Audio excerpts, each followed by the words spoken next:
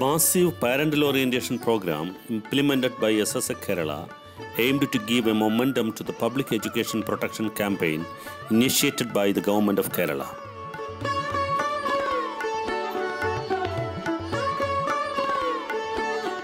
The essence of the campaign was to make every school a center of excellence.